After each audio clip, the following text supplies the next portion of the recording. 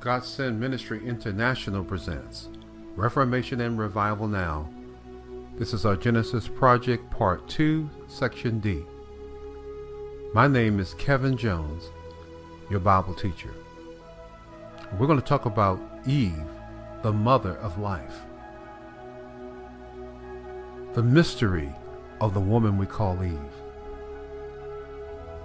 Unique from all creation. The woman is the only creation taken from something already created. She is the revelation of perfection and the picture of the church. Just as Eve came out of Adam's side, so does the church come out of the Lord's side or his bosom in the spirit. This is the mystery of the woman and who Eve really is. Wife, mother, and co-laborer with her husband.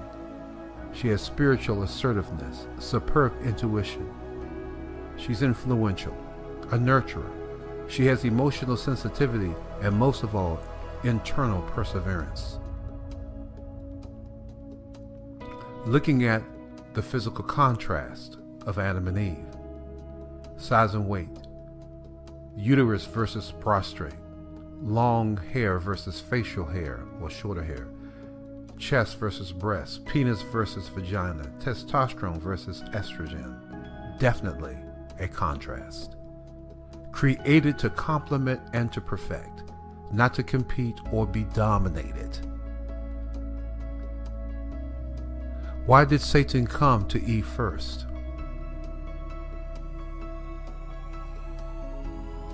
To exploit the weaknesses of their innocence.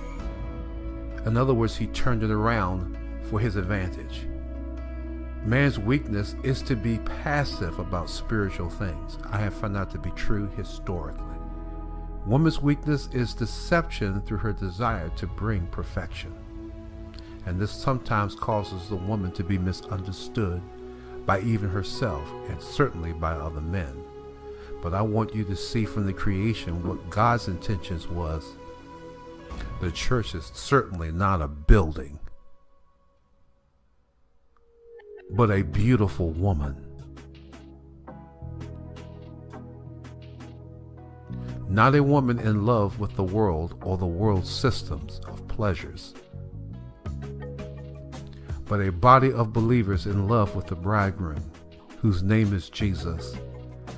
Eve typified what we as the body of Christ are supposed to be the bride who is in love with the bridegroom. And this is who Jesus is coming back for the bride, his Eve. Well, I hope you enjoyed this because I enjoyed making it. God bless you, and I will see you in videos to come. Bye bye.